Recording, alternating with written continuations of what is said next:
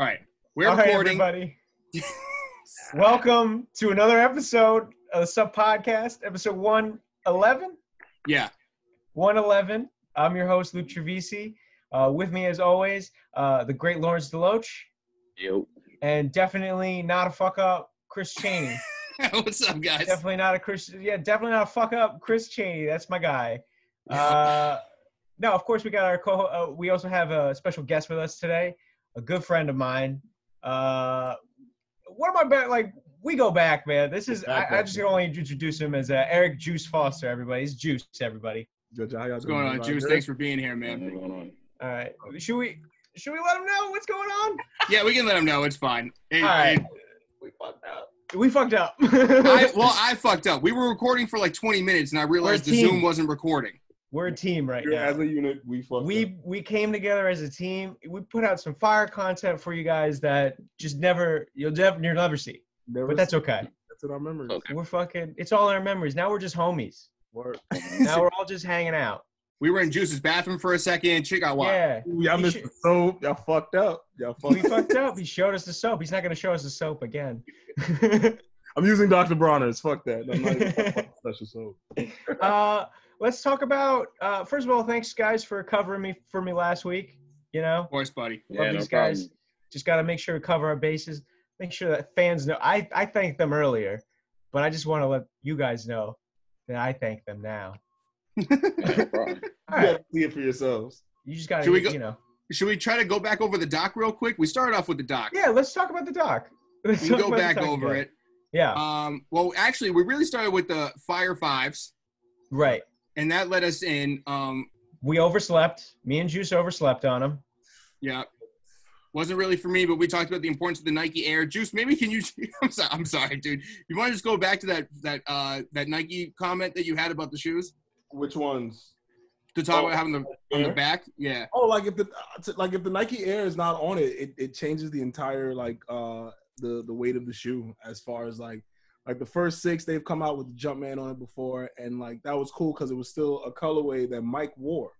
Like if Mike wore it, people trip. That- That's my whole thing. I don't like buy like off colors. Like if Mike didn't wear it, I'm like, ah, like I won the Travis Scotts, the high top ones. So like Yeah. that's that's and that's my first pair of ones. Like I, I won those on sneakers app. So like that's a one off. But everything else, like I, I try to keep it true to true to what Mike wore. So like when Nike Air gets put on it, the price the, the value just so then you know uh leeches resellers want to like try and get on it and and take away as many as they can from the public and shit Mm-hmm. and resell it for like two like 360 and shit like dickheads. But um yeah i just think the the the value of jordans go up depending on like colorway and branding. And like you put that that nike air on it it's a wrap. That shit's flying Well, you know, we we look at you look at certain models of uh, like a, a Jordan one, uh, a Jordan three, a four, and you have say for example you have uh, the black and cement fours that you know they came out in 2012, and they had the Jordan uh, the Jumpman on the back, and then you know uh, last year we get the Nike Air version, and how people like they they want to dump the uh, Jordan uh, logo uh, pairs. Uh, Yeah. that's ones were a big thing. You know, if you had the Nike Air on the uh, on the tongue, everyone was like, "Oh shit, these are the the limited. You got to get them." You know, and and you had you had ones with the Jumpman logo, and people, you know, they they trashed them. There was Chicago's with the Jumpman logo, and everyone was like, "Those are trash." And then a couple years later, they fucking come out with you know Jordan, uh, a, a Nike Air on the on the on Chicago ones in, in 2015, and boom, everyone's going crazy for them. So when did Uh, get popular say that again. when did mids get popular I have no idea. Oh yeah. Well, we also got the mids coming out. We had a pair of mids coming out this week, right? Oh no, they came out. When did they come out? The Luka Doncic ones? Oh, the look, yeah, I know. why didn't Luka's uh, get highs the nigga's nice Give him That's the high. other thing I'm trying to figure out too, man. I don't know why they, he didn't get So, highs. My whole thing is this. All right, I'm 29. I was born in 1990. When I was in high school, and most of us niggas who was in high school, especially growing up in New York, mids was never lit. Only people wearing lids was mids was the little was the the Mexican kids, and like the one off niggas in in in the school. Mids were never lit. The only mid that was ever lit, or I think that was a low, was the 14s, that the the blue ones, the blue black, blue black and yellows. Yeah. But outside of that, niggas wasn't rocking lows. Um, I will say this: I did have a pair of low twos, the white and blue ones, but like, I feel like another one off. But I just feel like in ones, now all of a sudden everybody needs a pair of mids. They got mad mids coming out. Nike put so much backing to people making their own like like fake like certain uh uh creatives or whatever the fuck and influencers um making their own ones and it's like they're all mids what like what are we doing here Yeah. what y'all want why y'all want this I don't like Yeah, yeah, yeah. is? Yeah. culture's changing od bro and it's blowing mine Well, I was gonna that that is something we could we could discuss how you know certain models or certain you know they they have like a resurgence or they and I'm, I'm not gonna say mids are having a resurgence, but they're definitely coming more to the forefront where people are you know they're not scoffing at them like oh man I'm not fucking with mids I'm gonna wear a pair of Jordan one mids. Uh, we, we're seeing a resurgence with dunks. Like you know, eh, eh, we we saw that now where I feel like uh, Nike is going to they're going to whore out mids. I mean dunks like they did Jordan ones. yeah yeah. You know, Travis Scott for that Mm-hmm. we could. Th- I mean, we can all. I mean, Travis is obviously. You know, we we talked about the Travis effect on this podcast, but yes, he is one of those guys that he's wearing a lot of SBs, and it is bringing. You know, making people uh, aware of older SBs that maybe didn't get the credit they deserve. But it's just rappers in general, and it feels like the the youth are like driving up. You know, they're trying to get any pair of SBs that that are coming out. Like Uh, h- how long do you guys think this uh this dunk uh fad or not fad, but how long do you think this this dunk being like on top can last? Well, before we go on to the dunks thing, I did want to make a point about mids. I think that's also Nike fabricating. Uh, like they're trying to push mids more than anything else right now. Uh, and Juice, Juice, you can attest to this because you've seen it in your store. Every like every st- every time you go to a Nike store, you can find mids. You know, so like if they're in like they're available to the public, there's like everybody's like I'm not gonna be able to get shattered backboards, but the shitty orange the, the orange mids i could get those you know uh, so it's like a first option for like people who are just don't have it you know and then eventually that's like all right well people are buying this the common man is buying this so now it just extrapolates and now we're getting now we're getting fucking custom mids bring back metallic ones mm-hmm Well, I think I think Nike is always they've they've played on that very well in terms of oh you can't get the the super limited ones. We're gonna throw out some you know some less than you know hyped yeah sneakers and you're gonna purchase them. I mean, perfect example. I Yeah. mean, you know, the the Dior ones. You know, as soon as the Dior ones came out, you know, everyone's like, I can't afford two thousand. I'm not buying. But then they released a pair of you know Zoom Air ones. yeah bro i got them give me one second That's yeah, go. Yeah, go grab them. Yeah. I mean, and to go back to what you were saying, Lawrence, about the dunks, it's like, uh, I don't, the, the cycles of shoes getting popular is getting tighter. Um, and I, I think it really just depends on what people like Travis want to do next. Like, when, I think when they run out of cool options with these shoes that are popular now and they go on to the next one, but it really depends because the cycles just keep changing. Luke, I, I feel like these came out of nowhere, right? what happened how comfy are they? Uh, they're all right. They're not great, you know. I haven't really walked around in them yet. I've just had them sitting in a box because uh, I've been wearing my house shoes around. Mm. Because I got the I got these and the Yeezys at the same time, so I was just like, well, what am I gonna wear in the house? Jordan ones or house shoes? You know. Right. Mhm. Mhm. So I've just been wearing the Yeezys a lot. I Hey, what was will- your last point that you was trying to make? yeah. What was that last Oh no, it's it's just like the the cycles of shoes that get popularized. It's it's less about like it's less about the actual trends as far as the what the world is following because like dad shoes um and like that whole normcore like th- these are periods of times that like these Nike shoes po- got popular in and out of. hmm So it's really hard to see, like Lawrence, going back to you know your answer to the original question. I know this was kind of long-winded, but like it's just so hard to see because it's based more on like celebrity influence than it is like fashion influence to me. Well, I'm not gonna sit here and I mean, yeah, granted, you know, there are certain rappers and, and that made certain shoes popular, but I'm not gonna sit here and say that whatever Travis decides to wear next is is what because people. I mean, people are gonna like what they like. Yeah. Granted, maybe some of the younger generation is more influenced and causing, you know, uh, certain like if if they see like their favorite rapper, then they're going to attempt to get the sneakers by any means, in turn whether it's you know bots or whatever, which then causes the people who you know older people who may actually like them to be you know shut out. It's a it is a, it's a domino effect to me. Uh, but it does make it does bring up a, a really good point that it's like, all right, we've seen the Jordan uh, one wave, we've seen Air Max wave, we've Yeah. seen Foamposites. Like you know, we saw where you know they were selling out and, and being resold for four or five times what you pay for them. We're at a, a dunk phase now. Uh, you know, and I, I think Chris, you talked about it earlier. I think like you know, what's next? Air Force Ones or you know, what can you guys see being the next? I mean, Air Force trend. Ones have been the trend now.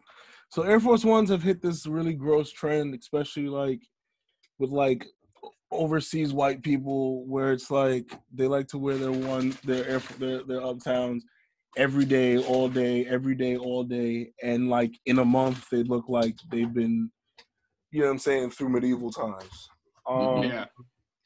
it's been countless situations I've seen little girls and like come come in there and they just want a new pair. And you see their old pair on their feet, and you're like, what the fuck happened? And it's like, how long did you even have those? They'd be like fucking like a couple months. And he's like, damn, that um a couple months? Well, Yeah, you know what? They treat them like Converse, dude. They treat them like Chuck 70s. That shit's that shit's gross.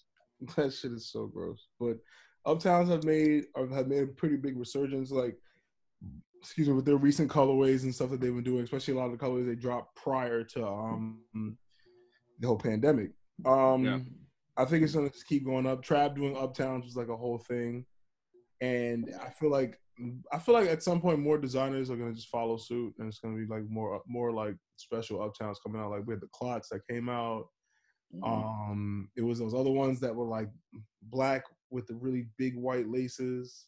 Oh, the Korean ones. The Korean Jones, yeah, and all the Oh, Korean yeah. kids, they wear them shits Mm. reverse, like they tie it from the bottom up. It's, it's like I don't know. It's it's We- we- we saw we saw cactus uh cactus plant do uh air force one we, we've seen john elliott do air force ones you know we they definitely there are there are some a lot of collabs uh that people have done with uh obviously with air force ones. And you have to remember i mean 20 years ago i mean everyone wore an air force one. I mean nelly you know those guys singing about air uh, you know air force ones is like you know we they were fucking huge at one point. So Yeah. uh, we don't know what's next, but um, I kind of I thought hypothesized at one point that I thought trail running was going to be a big thing, and I was giving a lot of credit to Sacai. We talked about this on a previous episode, but like those waffles were Yeah. actually a trail runner when they came out, and I know a lot of people don't know that, but I think the industry did, and they saw the popular uh, effect that those had. I mean, Lawrence, you you bigged those up big time when they came out. You know what I mean? Those were one of your favorite shoes when they dropped. yeah, hmm a lot of these shoes that I'm seeing are like even the Salomons and stuff like those are selling. These are part of those like booms that I think that are happening during this uh, pandemic where people are buying that stuff and then going hiking. Maybe that has something to do with it. then like Off White did the uh, Terra Kigers and shit. So Yeah. yeah. Yeah, Oh, that was yeah. another. Yeah, it's kind of around the same time as the uh, Sacai's too. It's just interesting to see now they're going from um, these big bulky dad shoes to like these thinner, like spikier runners. I feel like uh Sacai waffles were such a clout shoe though. Like cats who caught them, they were like, "Yeah, look at my feet, dog." Like, "Ah, yeah, we see, we know. We know. Yeah. Well, those it's because those shoes checked all the hype boxes. You know what I Mhm. mean? Like when the when all the boxes are checked, I mean it doesn't matter how good the shoe is or how respectable the shoe is, is supposed to be. It's just going to go down a little bit. You know? Yeah. If you look at like the the white pair and the black pair, they're only like two, three hundred dollars now, because they're not like the super flashy ones. You talking about this. You talking about this? The ones that released a couple months ago. Yeah. Well, the The Supreme. the, the nylon uh, ish ones. The ones, yeah, the ones that weren't the mesh. Yeah. Well, I think those were. I think those were poorly executed, and I also feel like uh, they weren't as nice as the original five that were released. So I think you know, obviously they weren't. Y'all Yeah. lost. Which shoe are we talking about? The Sky Sacai. waffle. Okay, okay, my fault. I, I didn't know we were, we were still talking about mine. It, we, Hold on. word. I gotta Yeah, the write mess with the the ones that just came out. Yeah, those weren't those, those didn't sell too hot. They they're very low on uh resale sites. Yeah. These are the attainable versions. Yeah, they're not bad. It- Not bad for attainable versions. Lawrence, you didn't like them? I I did. I, I like the white version more than the uh, the black version. Okay. Yeah, I didn't. I mean, I didn't copy either, but I I peeped. I thought they were cool. I thought I thought it was a. uh I don't know. Yeah. I have real, no real opinion on that shoe. Yeah, it's just kind of off your radar. Well, Then I mean, that's and that's kind of how they ended up where they are, because people saw them and like they're not as good as the other ones. They're kind of like the walk-in version, I guess you could call it, where you can just walk Yeah. in on the shelf and buy it. So yeah, no one really had an opinion on it because they they already made a better one.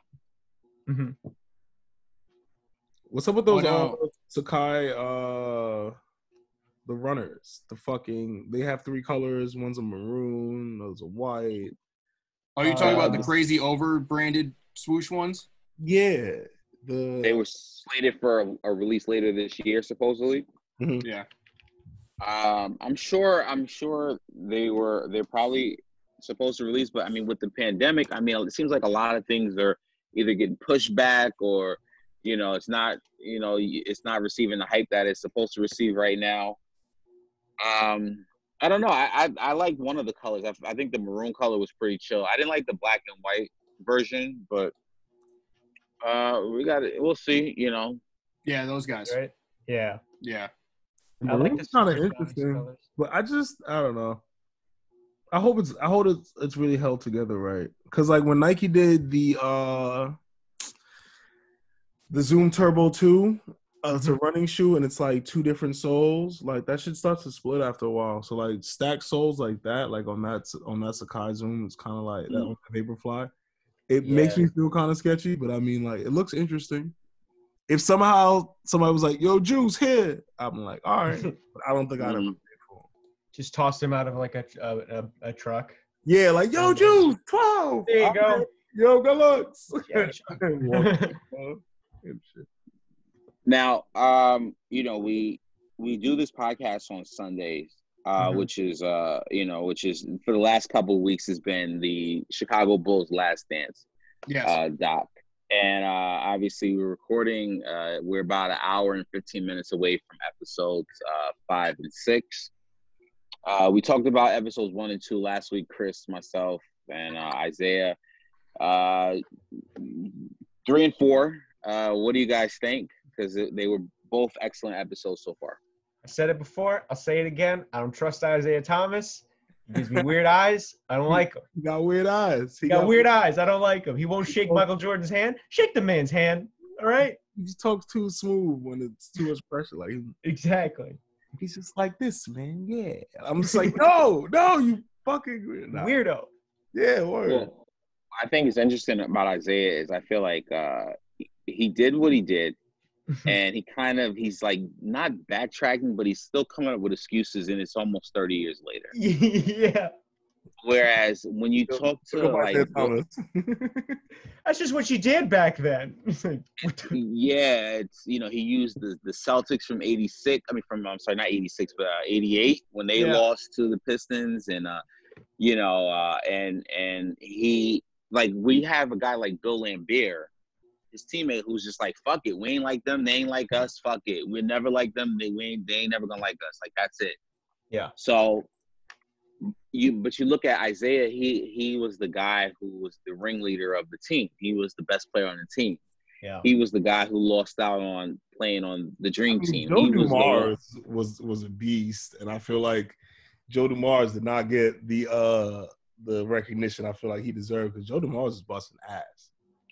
Joe Joe D was was amazing. The only thing about him to me was he wasn't like you know how they like he was part of the bad boys, but he wasn't a bad boy. Like he was winning community awards, you know, and the, for the Pistons. Like he was like the guy who was like the nice guy of the Pistons. Granted, they were all fucking they're one team, but Joe D won a Finals MVP. Uh, but yeah, I mean, when you talk about the Pistons, it usually goes Isaiah, Laimbeer, Rodman, and then you talk about how good Joe D was. But he was fucking solid, Yeah, you know. yeah, I. Yeah, I just want to admit again that uh like because I was so outside of basketball uh and been so young, I didn't know that Rodman played for the Pistons. I didn't know he had two extra rings because of that shit. I didn't know any of those crazy Piston stories. Like I mean, Yeah. me and me and Lawrence were lucky enough to go on television and talk about how uh the fucking basketball back in the day was so vicious, but I didn't realize it was that vicious to that level at that time. That shit blew my mind. All that Yeah. shit's crazy to me. So I'm I'm really looking forward to five and six. I mean, the Phil Jackson stuff from these episodes were really cool to watch. I didn't know some of that stuff. Like, Yeah. wait, can you guys clarify one thing for me? What's up? Sure. So, the who was the coach before Phil? I forget his name. Dan. No, no, no, no, no, no, no. Uh, Doug Uh, Collins. Doug, Doug Collins. Doug. Doug. Okay, yeah. So what happened there? Because they kind of alluded that Oh, yeah, Doug, Doug- wasn't happy, and Yeah, some he kind of like, down. yeah. Do you guys know anything about that? Because that was confusing to me. I think they must have So- him out of the position. So basically, what happened was, I guess, they um, Doug. He came up. He was back in the day very insecure about you know he would work the players a little harder, and he and basically they wanted him to install the triangle offense. That's the Yeah. offense that they Yeah, ran. yeah. That, I got that from the doc. Yeah.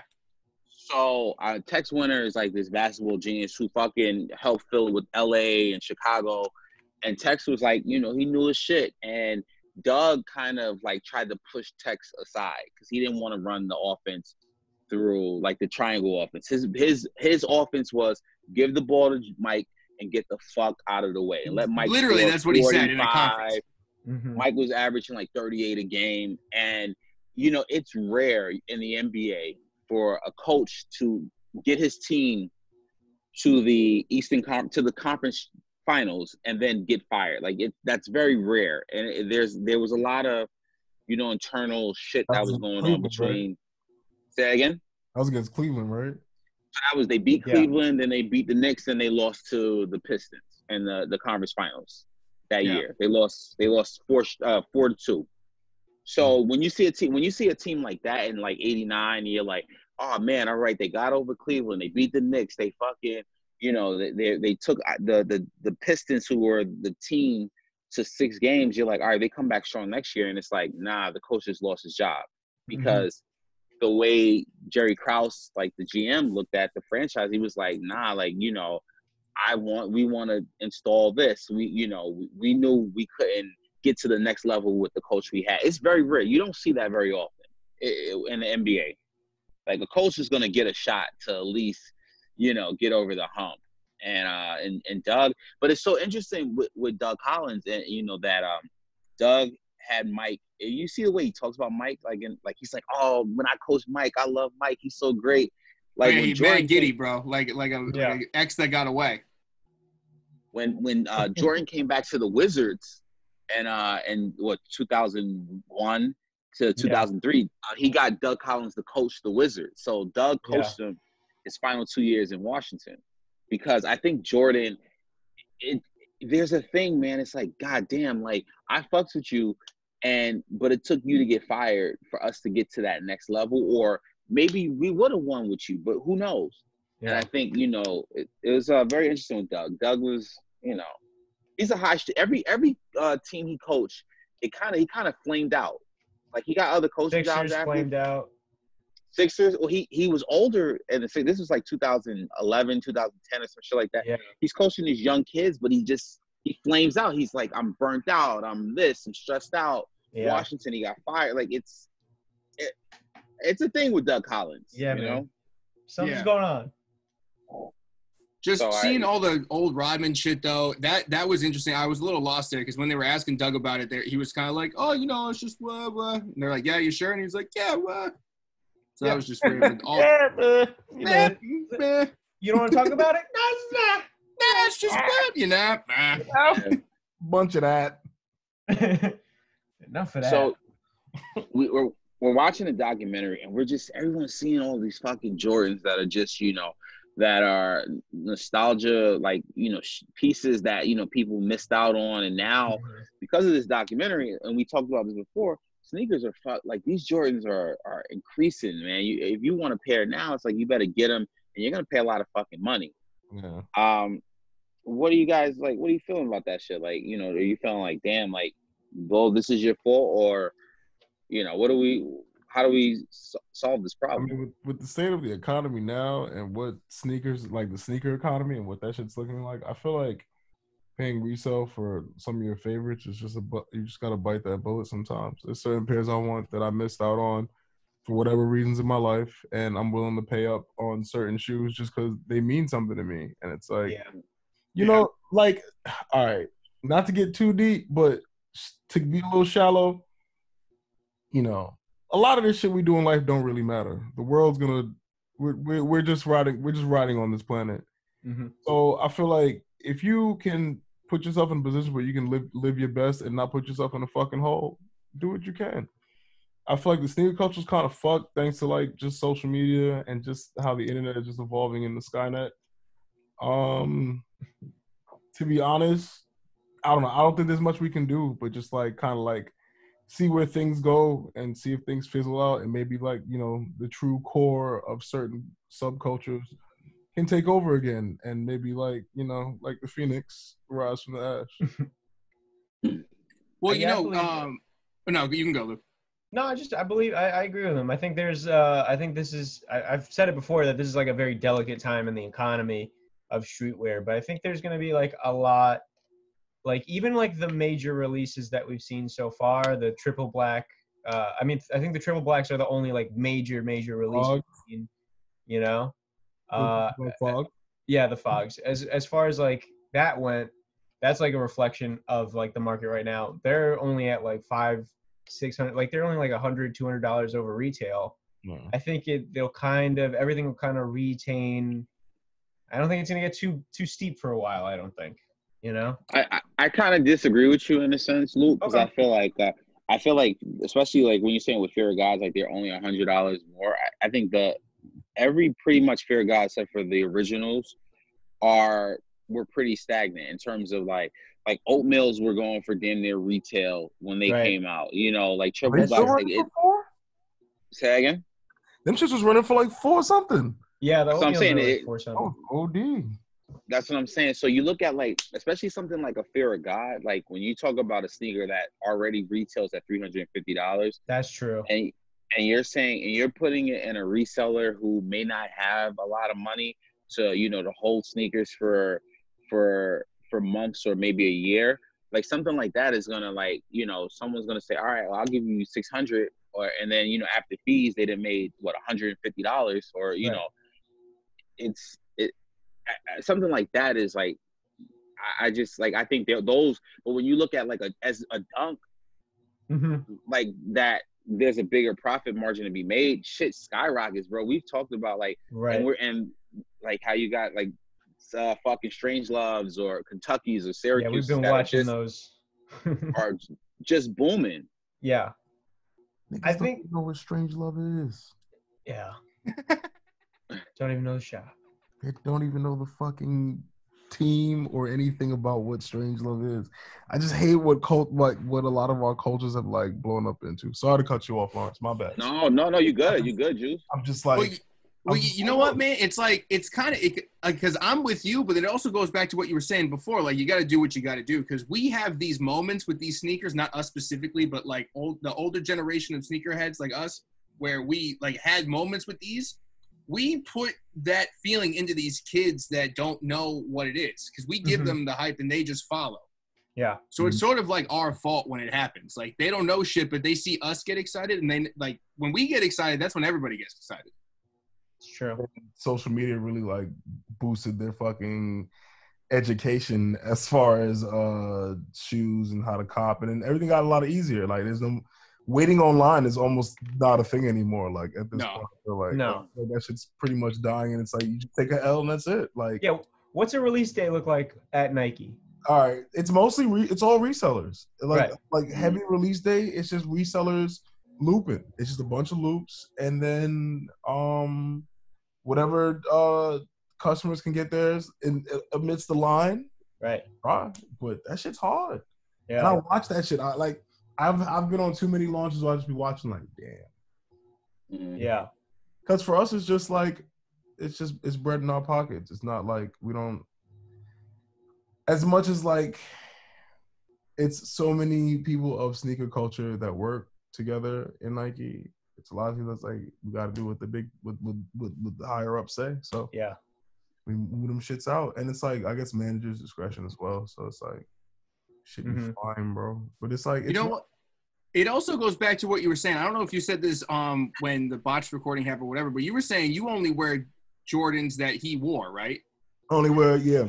Yeah. even outside of like Michael Jordan, like I only wear Jordans that he wore that I like, and then on top of that, like even like regular sneakers, uh, Air Max 90s, I only like the infrareds. Uh, like a lot, I only like the the first color that dropped is my favorite color.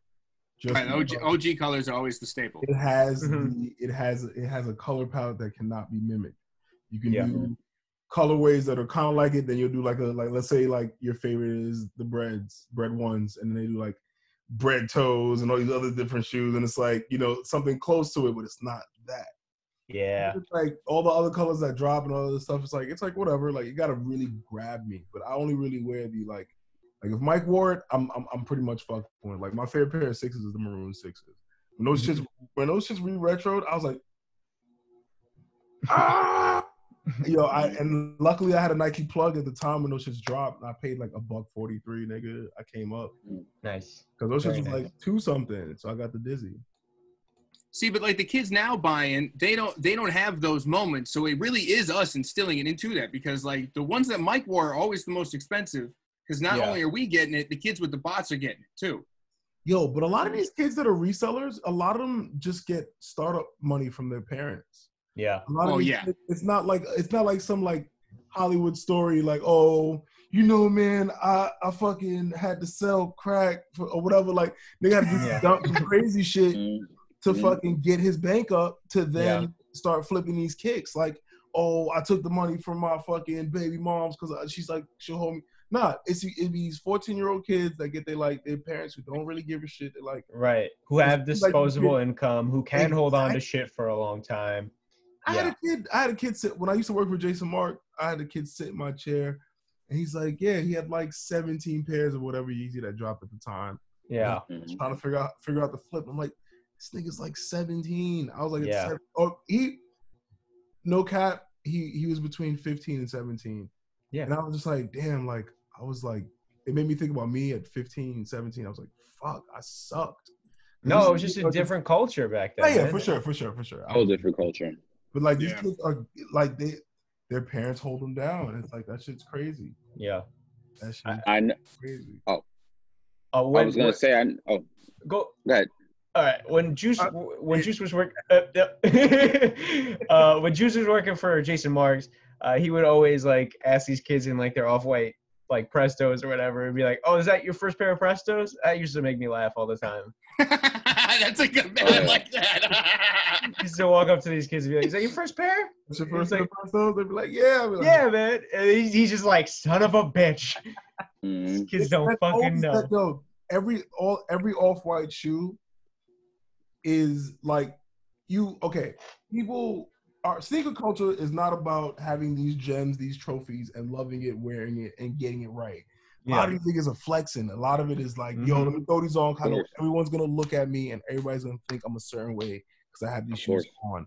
A lot of these, Yeah. a lot of these people, especially foreigners, who don't, for somehow, and what's You can say the Chinese. maybe I'm, It's the maybe I'm Chinese. dude. tweaking. Maybe I'm tweaking, but outside of America, Yeah.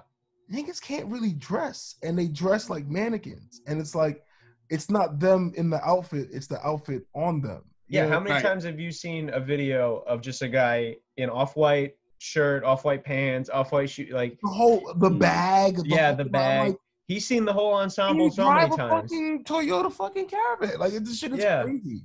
It's ins it's it's insane. You drive a Dodge Caravan and you're like, you're you're tweaking like you're you you're dressing like. First of all, you're dressing like 30 years younger than yourself somehow. Mhm. Um, also, it's just I don't know. It's like, but I did have this one Chinese girl sit in my chair, and she was like, "Yo, honestly, it's a status thing. Like a lot of these like Koreans and Chinese people like Mm, wear Absolutely. because it's like so like remember how like uh, smoking cigarettes was like it's considered a certain, you know. Yeah, because you could oh you're them. getting, oh, you getting a bag. You smoke cigarettes? Oh, you getting a bag like Yeah. that. That Right. So that transferred over into like fashion. So Mhm. I mean, I get it, but it's still hilarious. So you get like these dudes and like just dressing like the, the like a, literally like a mannequin. You'll have like Balenciagas with like oh with like some Thom Browne pants, It's like- but it's like really tacky. Yeah, Yeah. for sure. But it's pretty hilarious and pretty sad. Lawrence, you were about just- to go somewhere, right? Yeah, Yeah, I was. Uh, I was. You know, I was intrigued because, like you said, you work. You work at a Nike store, and, and obviously, a lot of the times, a height release comes out. It's through the app. You know, you you you uh, reserve your pair. But I was reading an article in Georgia about uh in in Greenbriar Mall where you know they've uh they've eased uh, the restrictions uh and out there, and people were lined up yesterday for the Fire Red Fives and um, it just makes me think like you know people are willing to risk their lives for sneaker and this is nothing new Mhm.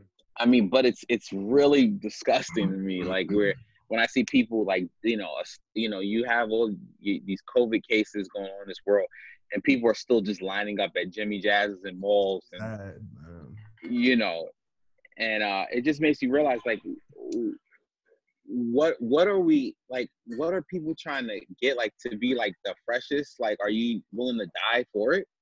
Yeah, it's not worth it. It's I, I don't I don't really get it. It has to be some sort of acceptance thing because like the I, I can't I can't speak for all four of us, but I'm pretty sure I can speak for Luke and, and Lawrence, where it's just like we just buy what we like because we're and we're fashionable people with taste. And these people that don't have it, I think like Yeah. that need for acceptance is just driving them because a lot of these dudes like going back to even the point we were just Real. making about like the they didn't watch Mike but they have the Mike shoes. It's like they just need to be feeling a part of something. You know what I mean? Right, It's like the same thing when Apple first started really getting crazy with that stuff. Like it, back to the status thing. I think it's all coming from the same place. Where Mhm. I guess these kids would rather have um, fucking coronavirus than not flex in their Fire Fives. i mean yeah this is a thing man where people obviously they're not taking the social distancing thing serious especially you know your people Yeah. willing to wait for for some jordans like god damn man you know I, I think this is this is what we're seeing though. This is like the the people got they're getting their fucking their money. They're getting their stimulus. They're getting Yeah, man. six hundred dollars from cares like they you know now it's like uh, you know uh, we're gonna fucking spend this money. And that's why a lot of these states are reopening because they're like we got to get this money this this twelve hundred dollars somehow some way. Um we talked about the last dance. We talked about uh you know stimulus uh we talked about the dunks Mhm. uh, Nike teased uh, three new dunks that are coming out in the next uh, month or so. hmm the Right. lows. You got lows. You guys feeling them? Uh, yeah, I like them a lot. I would uh, like certain colorways. I mean, I, I guess I, I guess you can say technically, if you like one, you like them all. It just depends on the color. Mm-hmm. Um, colors are sick though. Hold on, let me pull it up. I you. just need the highs, man. I can't do lows. I look so weird in lows. Nike's does not Mhm. respect my feet enough for me. Lows are tricky. Mhm. Yeah, they are, man. And it's like, you know what it is, man, too? It's like I I have a sample size, I have a size nine. So like with my five ten height, I look wild when I wear like shoes that are like appropriate to my I need my feet to look like they got stung by a bunch of bees. You know what I mean? Like my shoes need to be bulky. I wear a size twelve. I'm still gonna be looking like long Jeffies on my fucking. Oh yeah, dude, you a clown out here running around. I'm a 12 as well, so I mean, you know, You gotta wear cargo pants all day with them forever. 'Cause yeah. Only pair of pants that looks good with them. These That are made for my shit. people. Also, thank God that baggy shit came back as a, into style, bro. I needed that. Yeah. Oh yeah. I I've been getting shit on the for the past 15 years and finally I'm ahead of the forefront. right. You feel me? Hilarious. Funny enough, like as a skater, like I missed the early 2000s, so like I didn't get to be a part of that baggy culture. And then like that shit made a comeback. And then no funny shit, the uh, sales company that I represent, I work with, we represent uh, DC skateboarding. So like Mhm. I get shoes and shit. So like I'm back on my like, you know what I'm saying, baggy Mhm. jeans, baggy sweats. I'm out here skating. That shit, that shit, that shit was beautiful. But now Corona, and now I'm kind of like fuck. So I'm home with it, playing Skate Three. Sidebar: Did y'all hear about? Um, they said that, like I read that this is between like March 27th and April se- or like or April 27th to May 7th. Like these are like the biggest. This is like the the highest incubation time for like COVID at the moment or some shit like that. And like it's like hitting its peak. like yeah, it's like wisest to stay in type shit and not really be around people. yeah, man. I read I read it on like something off Twitter of somebody's saying that they, their, their parents like got a message from like UC Davis. They work for like UC Davis and shit like that, and they were talking about how like those points were like like between those two time periods is like precious. Stay inside. Yeah. I mean, there's rumors of this second wave that are supposed to come, like when we go back out. I mean, I don't really know who to listen to or who what. I'm just gonna keep my mask on and keep it moving. That's it. As long as we ever stay six away with a mask on, I feel like everyone's gonna be all right. Oh yeah. Yeah, you didn't talk about your mask yet. How? Oh, Oh fuck! Right. Get it. oh yeah. So, I mean, the some of the listeners know, but I work. Uh, I consult for this company called SoHoodie, and it's just it's a portable hood. Basically, you can put it on anything, and this is not attached to my fucking shit at all. Um, but I added a gaiter to it, so now it's good for like biking or if you're a runner or some shit. I look like I'm about to rob a bank. Every time I go into a bodega and they don't know me, they act a little weird. You know, you know what I'm saying? Bye. Yeah. Yeah, but uh, yeah. So I mean, this was my shit. I've been making a bunch of masks for a bunch of people. I can't wait for the other shit to come out and show you guys. But yeah, this was one of them. I was riding around on a Citi Bike in Fort Greene by where uh, Juice lives. Fucking, it's New Orleans out there. Everyone's just drinking on the street. It's fun. Yeah. Everybody's like, oh no, we're fine. We're not dying. I'm just like, It's fine. I'm telling you, T virus, bro. Just be ready for the T virus. Get Yeah. your weapons up and let's just be ready, son. Like, yeah. Get your green herbs and red herbs, put them together. Let's get some fuck. Because this shit is like, no one gets it. And then Yeah. Washington Square Park, Huntington Beach was bussing. yeah. Uh, it's mad places bussing. I'm just like, you guys are dickheads, but it's Yeah. cool. And I, and I was I've been saying this to a lot of people. I've been like, yo, I wonder what the world's gonna look like when it starts getting hot out. Like, but like when I say the world, obviously I mean New York, because like Yeah. we're, we're a different kind of world. And Yeah. when it gets hot out, when when it starts really becoming summer, summer, yeah. People just gonna start turning into zombies, bro. I'm gonna start shooting people. That's it. My roommates were talking about getting guns and shit too. I just everybody needs to calm down, stay six feet away, keep your mask on, and don't go out if you don't have to. That's it. Let's just That's get it. through this shit. You know? Uh, do you got time for any more topics?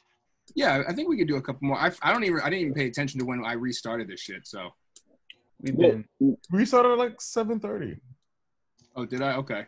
Yeah, we're yeah, like we got- one- yeah, we got like Yeah. one or two more. I'm here. We Uh, uh, Go ahead. I was gonna I was gonna say we uh we talked about well you know uh, obviously with episodes five and six of the Last Dance tonight, uh Kobe Bryant's gonna be featured in one of those. Yeah. Uh Mhm. and uh we, we there's uh, news that Nike's gonna be uh uh releasing one of his uh Pro Tro version of uh the Kobe sixes. hmm Uh, um, I, I'm a big fan. I like the six, seven, eights, even though they all look very similar uh, in terms of playing basketball. I love the sixes. I love the eights. Um, you know, obviously, the, I, I don't know if there's a, a right way for Nike to release these without, you know, resellers trying to get their hands. Or either they have to flood the market, or what's what's the option that you guys think Nike can do?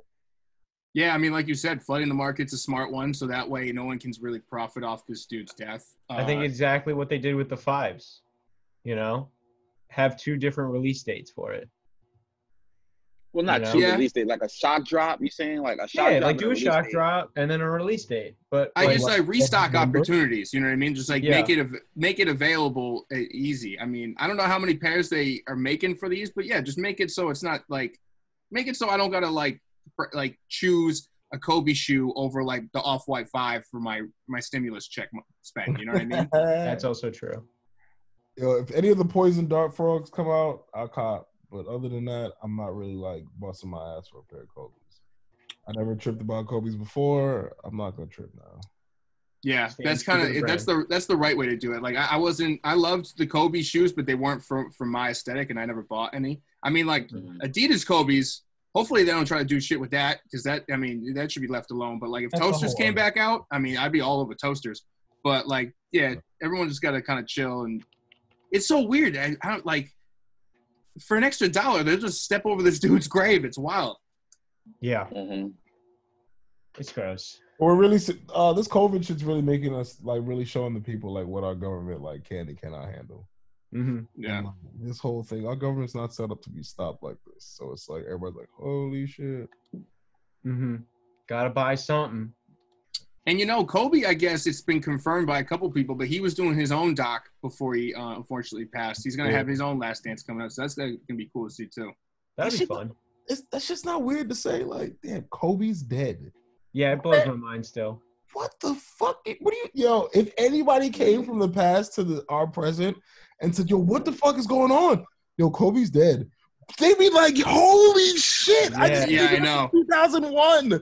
No, Yeah. like that. That shit is crazy. What happened? He like jumped too hard? Nah, it was just something. It was an accident. It's like, oh, Yeah. that sucks. Yeah. You know, Yeah. That shit. One of the most shocking deaths, I think, uh, celebrities. no one saw uh, that coming. No one. I I was a left hook to my fucking balls, yo. No Mhm. cap. Yeah, man. Uh, so- Eminem fours are in the. uh Nobody cares about those. Hey, He well, my people care because- about the force. I was gonna say My- 'cause the- anything the Eminem, my people care about. Okay, he's one of our he's one of our Jesuses out here. Okay, we only had a couple of versions of him. You know, I threw a ticket at those. I went on StockX the second I saw Eminem fours were on there. I was like, I will throw ten dollars for a ticket at that. You know, people gonna were copying talk the uh, yeah. winter fours because they look like the M and M's. Ye- he was saying it when it first came out that they look like That- the, the Eminem fours. That's exactly what I said. The That is winter, exactly the what he winter said. fours were stupid because it was like a, a line, like a fleece line collar and shit. Like it's like that's some hot sneakers. You're going to only wear those when it's cold. It's like Mm-hmm. Yeah, them to Russia. Don't don't sell them to niggas out here. that's a that's a three month shoe. Nah, you can't have that. Well, it's interesting that you know StockX is doing this now because they, they have a lot. There's a lot of things going on with them that they've been in the news for employees testing positive for COVID, uh, processing fees increasing. yeah, they're in danger right now. Um, I, you know, I, I feel like just the the fact that you know they provide such a basic service for people. Uh, I think they're never going to go out, but I think there will be some changes, probably to upper management eventually. It, it, it's too easy for like you to purchase something off the StockX. You know, it's it's Mhm. like without you you know you can literally just say, all right, I want to buy this, or I want to put in a bid, and it's like, all right. And I, I don't think that anyone will ever. Um, I don't think I don't think it's going to go out of business. no, it won't. I mean, yeah, like you said, things will change. Maybe the business will uh change as far as like what kinds of shoes can go on there. Like if it's only the hype shit, like because you go on there now, there's some shoes you can get for like under half the original retail, and they're not bad shoes. and Yeah. that they're wasting money on those types of orders like that the manpower to move like some general release shit like just some regular air max shit for 60 bucks it's like not worth the salaries or however they do it so it they'll probably change the model to more just hype shit No, why would they do that? I mean, that if there's if there's a processing fee, if they can make money off of a, a fucking fee, they're gonna do that. You understand what I'm saying? That's part of the reason why yeah I but feel like they. no I, understand what you're saying but those shoes are moving like they were before like even at this low of a price like i don't see a lot of that stuff moving Well, which is interesting because I feel like uh, Flight Club had a similar model in terms of not taking certain shoes, but then also they they dealt with a physical inventory, yeah like where their their stuff was in a fucking basement. Like whereas StockX is like the person holds this the fucking shoes. I mean, I don't know, man. It's just like if you have, I, it's also like bandwidth. It's also maybe stuff that we don't understand, but I just can't imagine all the because they do still have to like manage that inventory, whether it's physical or in a spreadsheet, and someone Mhm. has to be in charge of that. And if they're cutting costs, and even if it's just a couple people, it's like maybe they got to cut the kind of shoes that they do or the handle. Well, I think I, I I mean maybe not shoes, but then maybe they don't fucking have a Rolex section or fucking. You yeah, know, that's another toy thing too. section. Maybe just keep it more like what. 'Cause, yeah, I've never heard of anyone buying a Rolex off StockX, so that, that kind of makes more sense than maybe cutting some of the shoes. If you buy, I bought some socks off StockX. yeah, that's even more at least foot related. You know what I mean? Like you sell socks to people that are buying shoes in the store. You know what I mean? That's part of the hookup training. Like you try to get the build the sale or whatever. You never go like, yo, get these Air Maxes in this Rolex. Mhm. also you know if you're going to StockX for your Rolex, you better you better pray to the authentic authenticity gods. Yeah. You know? Oh, that's true. Did they like call in someone from Rolex to like do a double check? Because it's like I'm not letting Zach from fucking Massachusetts be like, oh no, this Rolex is real, dude, for sure. Here. Yeah. Yeah, it's like the, it's those dudes in Chinatown that like make you do the, the hit so you could hear the shit move in the middle of it, whatever. yeah. They're like, oh, dude, saw. Like, no, it's it's for sure good. Oh no, dude. Oh yeah, dude. It's good. no, dude, your Rolex is so is so good, dude. The Rolex, dude, for sure. No worries, bro. so Cheers. Cheers, no worries, bro. Yeah. Uh, I mean, you know, you know what we could probably end off of is uh, the NCAA letting kids get endorsements now. Yes. That's gnarly. It's pretty crazy. So it's like, from what I understand from the article, it's two set like it's an individual contract as opposed to the school contract, Mhm. right? Where it's like, you know, like maybe like they use Duke as an example because Duke is like heavily sponsored by Nike, Mhm. and and then they go, okay, well we could put this player in Adidas like lifestyle shit, and they can make money that way.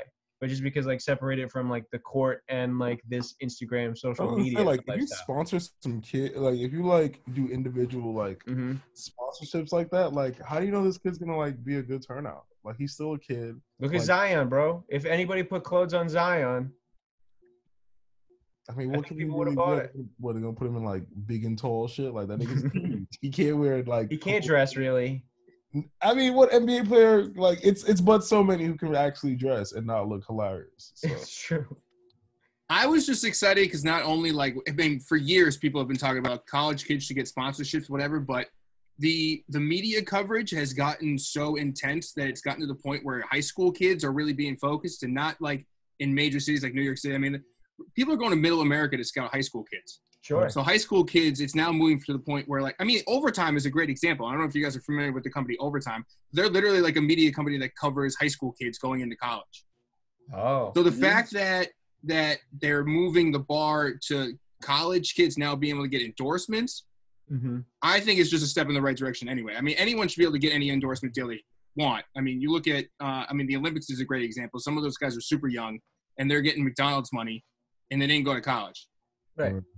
So I, I mean, personally, I was just happy to see that happen. Um, the younger I- it I think- goes, I, well, no, go Lawrence. Oh, I'm sorry. Go ahead. Go ahead, Chris. Finish. No, I was just saying the younger it goes, like as far as media coverage, uh, you, you can't wait till the kid's like 25 to to get a contract somewhere on something other than what they're doing.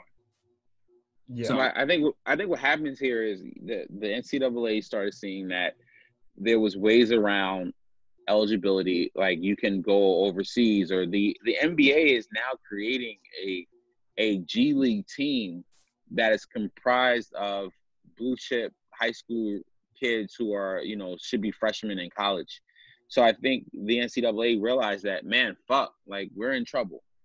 Yeah. And for something that they stood firm on for so long, for them to bend the rules the moment one of the top prospects decides to go to uh, play in the NBA G League, it's I mean NCAA is the biggest pimps in the world. We've all we've all I think expressed this at some point at another time.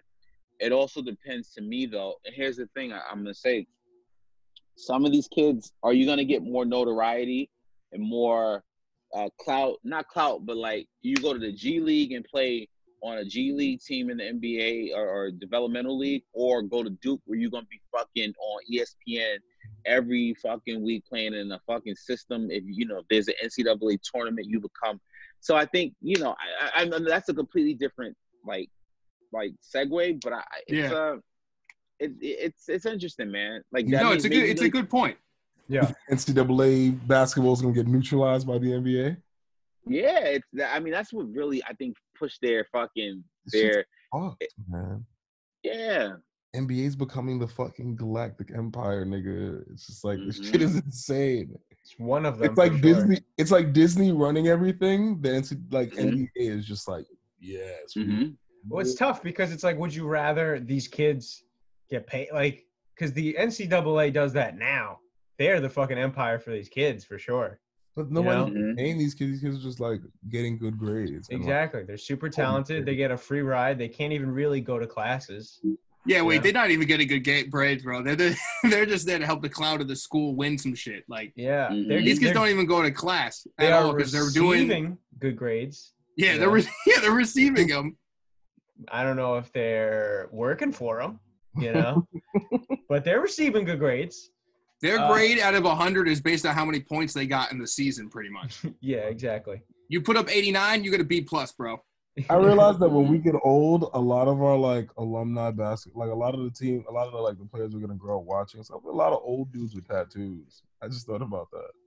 Yeah, It's like I can't wait to see J.R. Smith old. right. I just, I just, I just thought about like what the NBA used to be. Remember like seeing a dude with tattoos like the weirdest thing? You're like, oh shit, Kenyon Martin, yeah, fucking like you'll see mm-hmm. dudes with like tattoos and like it like it was like a like a you get like a certain bad boy perspective. Not everybody got tattoos. Not everybody's just like I don't Yeah. know. Like it's just crazy how the mm-hmm. NBA has changed. It just keeps changing, keeps evolving, and now it's like really starting to like pressure out colleges. It's like what the fuck? You're starting mm-hmm. to get for fucking True. what you could like this is like the NBA's gonna have school like NBA college. And it's just gonna like that G League team. They'll get classes and then they'll like graduate and then careful. This might be a plot of an anime. oh shit. That'd be sick. Hilarious. It's one Oh. giant uh, basketball school. Um, but I think actually right here is probably a good uh good spot to stop. We got uh the doc starting in a half hour. I want to go like settle my shit and get ready. Um, yeah. Juice, thanks for coming, bro. We appreciate you. Yeah. Um, I'd love to come back whenever it's possible. Yeah, Yeah, man. Oh, you're always welcome. Mm-hmm. yeah. Where, um, where can where can people find you, Juice, on, on social Uh, media? So on Instagram and on Twitter, uh, at let me get a L E M M E G E T U four H's. Um, I have like YouTube stuff too, but like I'm not really pushing that because I'm like I'm doing a lot of like reshaping, figuring a lot of stuff out. But um, all my main shit you can catch through my Instagram, and then I mean, Mm-hmm. Well, you also you also manage a uh, a rapper as well. so um, a lot of things have changed. Um, Okay. so I still. I still not. I still like do like I don't know how to call it. Like I I, I still manage in a sense like yeah. But heavy because I have a I'm trying to focus on my acting career and it's like Good. music manager and act and acting career at the same time. They weren't coinciding, but I still good. see a lot of this shit and I still try and push uh work to him. But uh you can follow him at Dro the Whale. He's from Brooklyn. He's very uh down to earth. Very I love good Dro. dude. He's great. Yeah. And he's fucking his he has bars. Like it's not like Mhm. York, it's not like regular New York shit. So um Awesome. he did a freestyle. Well, you guys can definitely check it out at Yeah. Dro the Whale. Let me get a follow that first, everybody. All right, let me get a holla at your boy. Holla at him. Word. I appreciate you. um, any guys final words before we dip out of here? Before I do like the final wrap up plug shit. Uh, Juice, once again, thanks for coming, man. It's always fun hanging out with you, buddy. Uh, let's see what else. Uh, we we were talking about like stupid shit we would we buy with our uh with our uh stimulus money. Uh, I've been buying some shit from Tenant. Support your locals, people. That's the big thing. Support your Oh yeah, shout out Jesse and Chris. Those are our guys, former guests. We did the live pod there. Um, Al, you got anything before we dip? Nah, just I'm ready for that that episode five and six show. Yeah. Um, so at LZD325, at Troveezus, at Not That Cheney, at Sup Podcast NYC, um, NY, uh, Sup Podcast NYC at Gmail. You can, if you go on the Instagram, you can text us. We got a Google Voice that you can leave us a message. Join the Discord. Juice, I'm going to send you a link after this shit. Yeah. Join the Um, Discord, dude. It's popping. I'm here for Yeah. it. No, Discord. Discord's where it's at. Um, and yeah, that's it. I got this hood. I got other hoods coming out in mass shit uh, for you guys. I'll let you know as soon as I do them. And uh, yeah, I guess that's it. All right. All right, peace. All right, peace, guys. You.